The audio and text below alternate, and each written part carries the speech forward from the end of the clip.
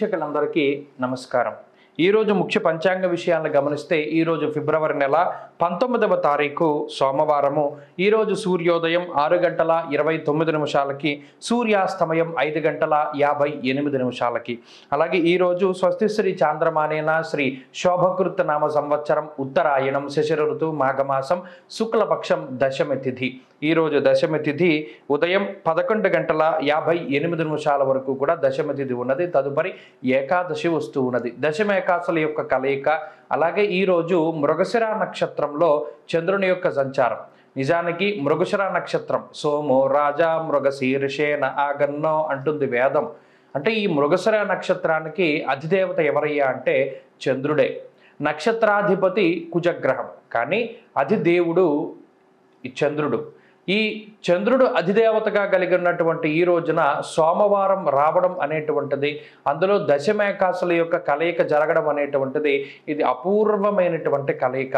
ఈ రోజున ఎవరైతే శంకుస్థాపనాది కార్యక్రమాలు చేసుకుంటారో అనగా ఎవరైనా వారి వారి నక్షత్రాలకి అనుగుణంగా ఇల్లు కట్టుకోవాలి అనేటువంటి సంకల్పంతో కొబ్బరికాయ కొట్టి శంకుస్థాపన కార్యక్రమం చేస్తారో వారికి చక్కగా ఇల్లు కట్టుకోవాలి అనేటువంటి కోరిక నెరవేరుతుంది.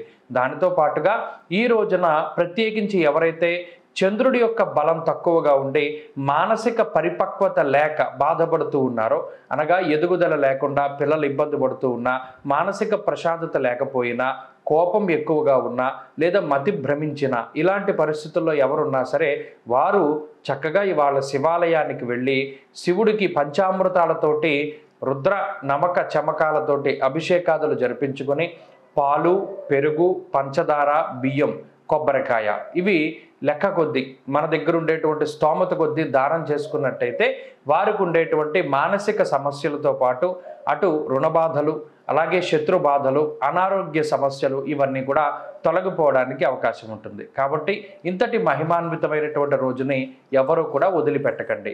అలాగే ఈ రోజున ఏకాదశి ఉపవాసం చేయకూడదు. రేపు భీష్మ ఏకాదశి. కాబట్టి ఏకాదశి తగులు మిగులు వచ్చినప్పుడు కూడా సందేహం ఉంటుంది కాబట్టి ఈ విషయం గురించి చెప్తూ ఉన్నాం. దశమి తిథి ఉదయం పదకొండు గంటల యాభై ఎనిమిది నిమిషాల వరకు ఉన్నది. తదుపరి ఏకాదశి మృగశిర నక్షత్రం పగల ఒంటి గంట ముప్పై ఎనిమిది వరకు ఉన్నది. తదుపరి ఆరుద్ర నక్షత్రం అందు చంద్ర సంచారము. అలాగే ఈరోజు విష్కం గరణి వణి వణిజ అనేటువంటి యోగ కరణాలు కనబడుతూ ఉన్నాయి. అమృత కాలము తెల్లవారుజామున నాలుగు మూడు లగాయితూ ఐదు నలభై రెండు వరకు కూడా సూర్యోదయాతో పూర్వమే అమృత కాలం అనేటువంటిది ఉన్నది. అలాగే ఈరోజు పగల దుర్ముహూర్తం పన్నెండు ముప్పై ఆరు లగాయతు ఒంటి గంట ఇరవై రెండు పునర్దుర్ముహూర్తం రెండు యాభై నాలుగు లగాయతు మూడు నలభై. సాధ్యమైనంత వరకు సోమవారం మధ్యాహ్నం పన్నెండు టు మూడున్నర పీరియడ్ వదిలిపెట్టేస్తే చాలా మంచిది. అలాగే రాత్రి వర్జం పది పదిహేడు లగాయతు పదకొండు యాభై ఆరు వరకు ఉన్నది. అలాగే ఈ రోజుకు ఉన్నటువంటి మరొక ప్రాధాన్యత ఏమిటి అంటే బుధ సంక్రమణం. ప్రస్తుతానికి మకర రాశిలో సంచారం చేస్తూ ఉన్నటువంటి బుధ గ్రహం ఇప్పుడు కుంభరాశిలోకి ఆయన ప్రవేశం చేస్తూ ఉన్నారు. బుధుడు బుద్ధికారకమైనటువంటి గ్రహం వాహనకారకమైనటువంటి గ్రహం కూడాను.